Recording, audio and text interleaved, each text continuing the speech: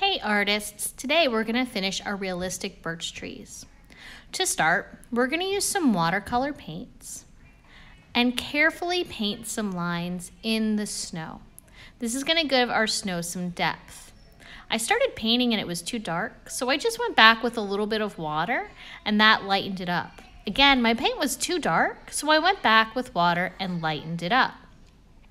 There's no right or wrong way to do this. You just want to add some really light paint lines. It's going to make your snow look a little bit more realistic.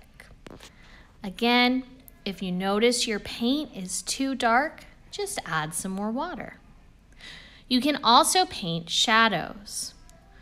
When you're painting the shadows, you can make them a little bit darker. Just slowly keep adding paint until it's the darkness you like. When you paint your shadows, make sure your shadows are all going in the same direction. My shadows are both going to the left.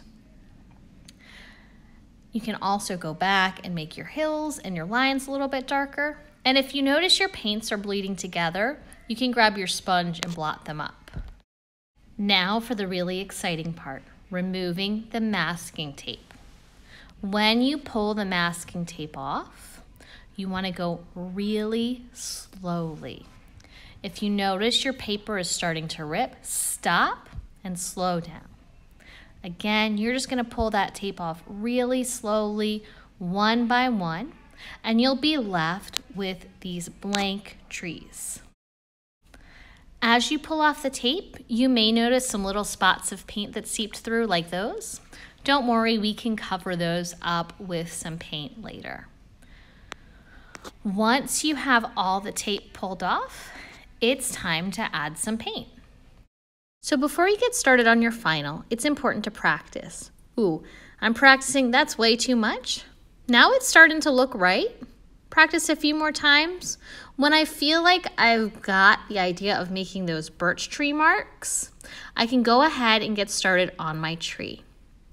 As I'm making those marks, I'm going in one direction. Whoop, I'm, I'm covering up some of my paint spots from earlier. And I'm creating a lot of variety in those marks.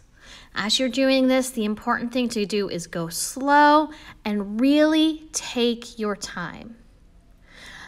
Before I start my next tree, I'm practicing again and just making sure I have the right amount of paint. You can always go back and add more paint if you feel like your trees aren't dark enough. But it's really hard to get rid of paint once it's on your paper. So just by dragging this piece of cardboard side to side, I'm able to create the texture of a realistic birch tree. So here I go again on my last trees, and I'm just gonna finish this up in fast motion. And that's it, friends. That's how you create realistic birch trees.